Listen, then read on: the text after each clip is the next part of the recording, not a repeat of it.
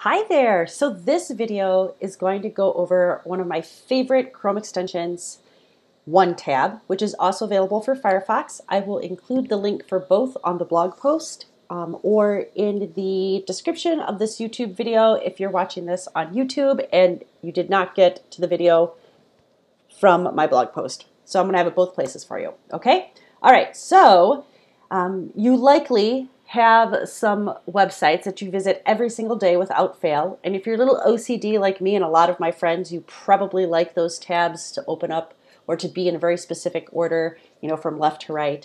And if you are a little OCD like that, oh, I love you. We're soul sisters or soul sister brother. Um, anyway, just all jokes aside, um, I do want you to know this really is one of my favorite things.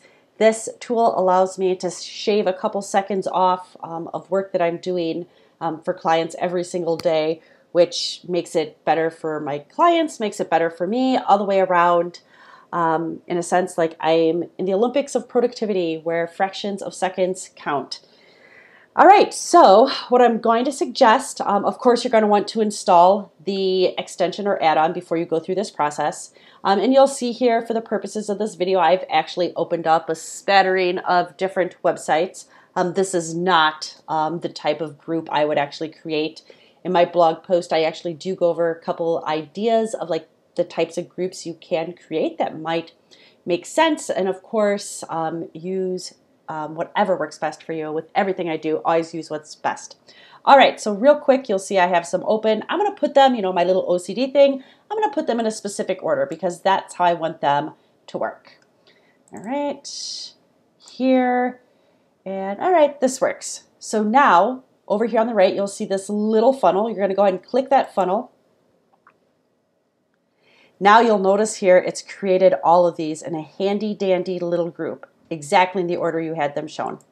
So we're gonna go ahead and we're gonna lock this group and you can at any point click restore all and they'll all pop open or you can pop them open one by one, which is also fun because they're all just right there, super easy to access, even quicker than bookmarks.